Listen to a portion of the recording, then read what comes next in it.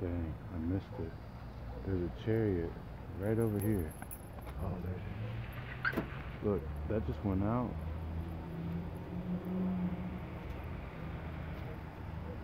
Like, I know you guys saw that. At first I wasn't there, but then it blinked.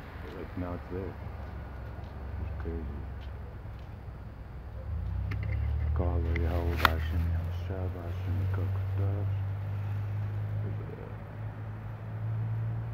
that.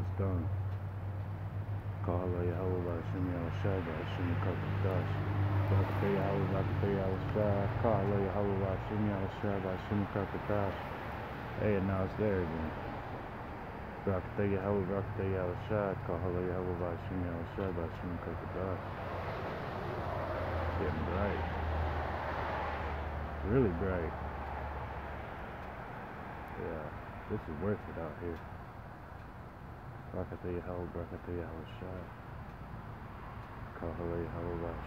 Shah.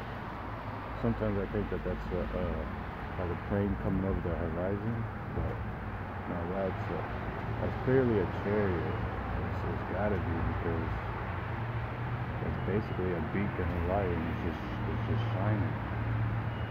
Lord willing, Ataman Ratazah, Yahweh Hashem Yahushua, Hashem Kakadash, you know, get to see what this uh, object in the sky is.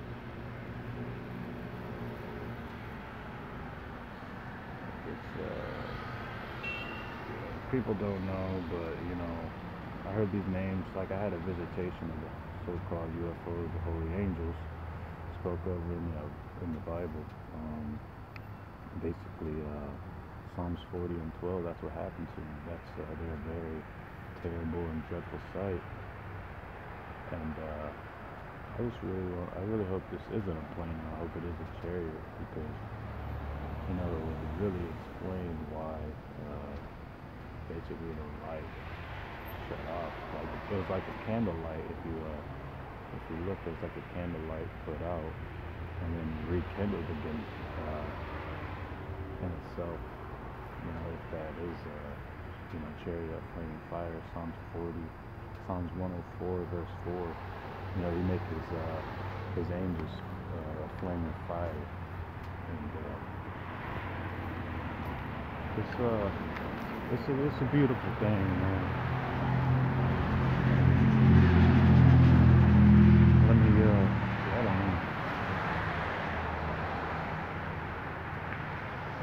But it looks like just a chariot in standstill.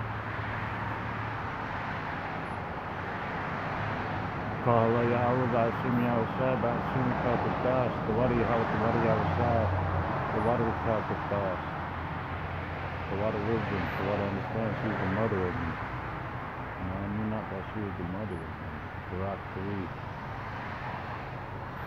Man, it's just a beautiful sight. beautiful sight your car.